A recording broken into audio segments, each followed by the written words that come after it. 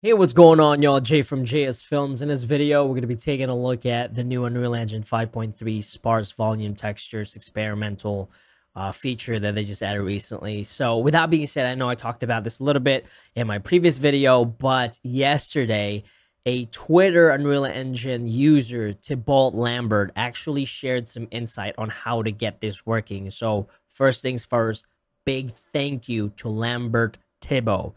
So basically what Thibault did for us is he shared his actual material graphs for us. So that's what we're going to be trying to recreate right now. So yeah, so that being said, it's very, very experimental. All right, I was talking to Thibault yesterday. I was like, dude, what's going on? It's like, oh yeah, that's that's an actual bug. So there's some bugs that you actually have to keep an eye out for. But if you follow this tutorial, you should be able to get this working. Additionally, if you're a, a member on my YouTube channel, I'll have uh, the project ready for y'all to download so you can just go ahead and migrate this uh, material to your project and mess around with it. I'm going to put this screenshot right here on my right side so I can kind of see it because obviously I am not going to memorize this. This is, there's a lot of scalar stuff that we're going to have to create from here. So what I'll do here is I already have it made right here, but I'm going to create it from scratch.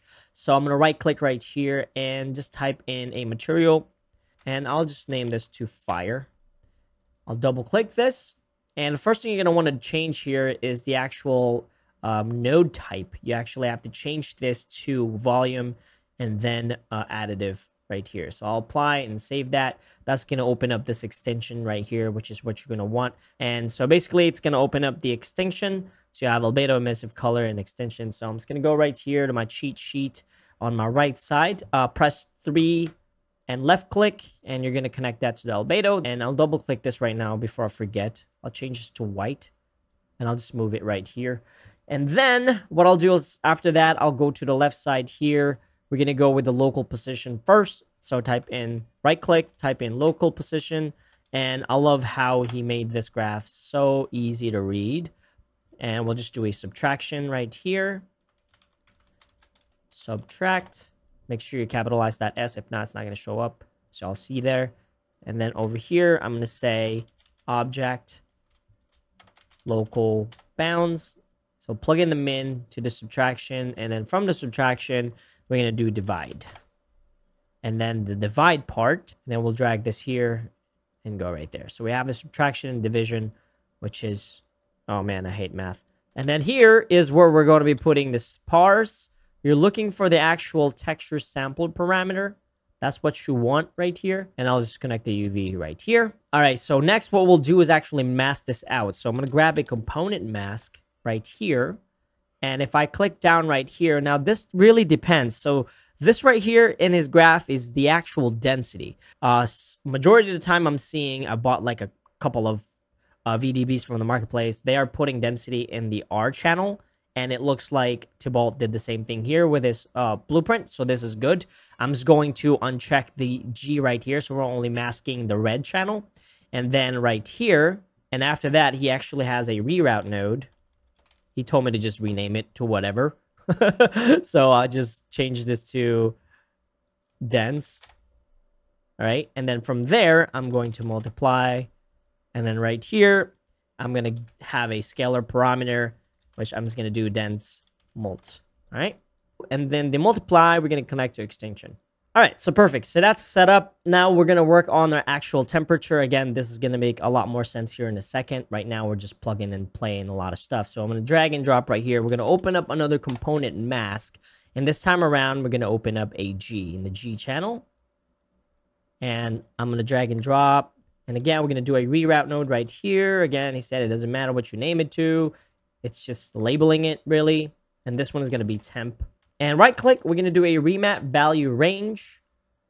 Right click, we're going to convert all of these to a parameter. Okay. Promote parameter, promote parameter, all of them. And he has values of 0, 1. So we got 0 on the input and there's 1 right here. And I think in 0, 1 to the target high. We can change these later on because we're going to create a material instance. So you don't necessarily have to worry about that too much. And then from the mask to the temp, the reroute to the input is what we want to. The result we're going to again multiply. There's a lot of math in this. And again, we're going to create another scalar right here. And I'm just going to say temp mult. And then for the multiply node, we are going to drag, and this is where we put in the utility black body. Take this right here to another multiply mode. And we're going to create a scalar right here and title this mult. And then we'll connect this to the emissive right here. Apply and then save. And next, what we're going to do is actually import our VDBN. So you can down now if you don't want to spend some money, you can download some free ones. There's a new one right here about 6.6 gig. I tried this one, but I keep getting crashes. I think it's just too humongous. Um, I did download this one as well. It's about 5.5. Uh, but I did purchase some as well to just kind of try it out because man, this is huge. If you are an Embergen user, I mean, there is definitely a market for this if you start selling stuff. So we have some of these already downloaded and I have two that I'm going to try, one that I bought and then one that I just downloaded for free.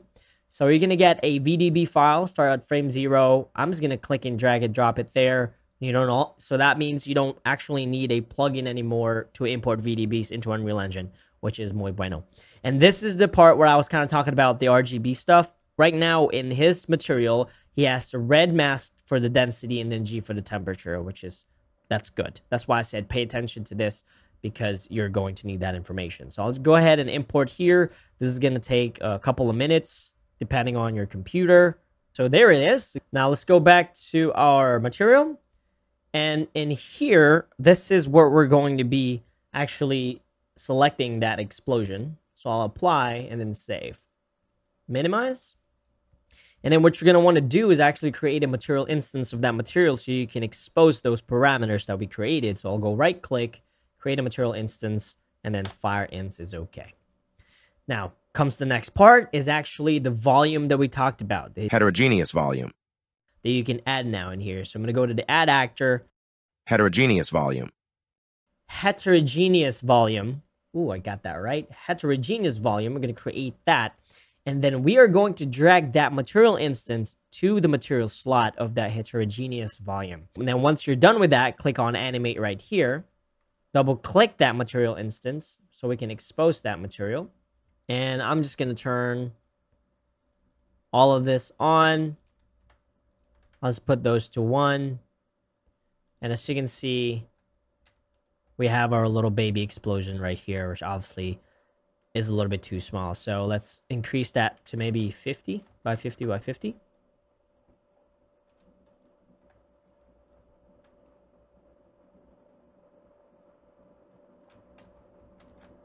Now, in my opinion, this kind of explosion looks much better than Niagara. I mean, even though Niagara is starting to look good, but this right here is pretty much cinematic quality. So we can adjust the actual temperature to make it look more like fire to like 4,500. And man, that is looking pretty fire. And obviously you can you can change the density on how much dense you want it. To get this real time, this quality real time, man, like, been, if you're familiar with this workflow in, say, like an offline renderer, this is pretty bananas. And what's crazy about this is, like I talked about in my previous video, you can actually render this out now in path trace mode.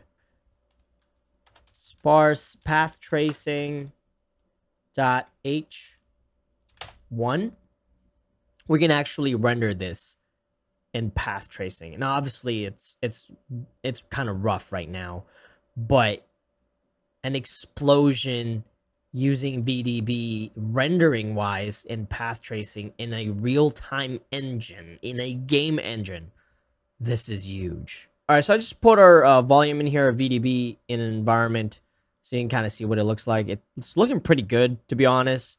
Um, I can tweak the settings a lot more to kind of fine tune it. Maybe make it a little bit more hotter or something like that. But this is all going to be really up to your taste. But yeah, that, that looks better right there.